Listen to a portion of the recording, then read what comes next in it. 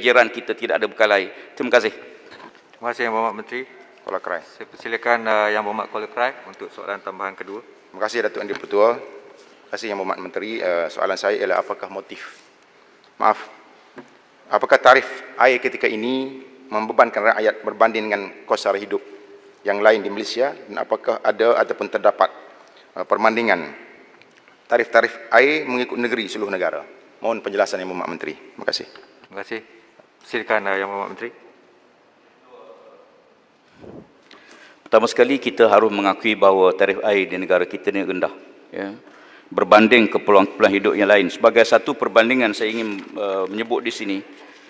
Tarif air yang dibayar oleh pengguna pada pembelanjaan sebulan ialah hanya 5% saja.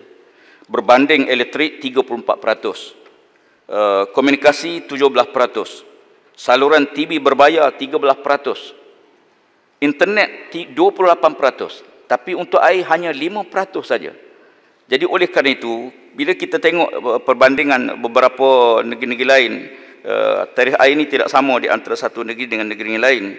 Uh, walaupun kita yang penting kepada kita ialah pihak kerajaan berusaha semaksimal mungkin untuk selesaikan bekal air bagi rakyat. Tapi di waktu yang sama, rakyat juga perlu sedar bahawa dia perlu penjimatan penggunaan air dan kalau kita bandingkan penggunaan tadi jelas bahawa yang kita belanja untuk air ini sangat minima hanya 5% saja.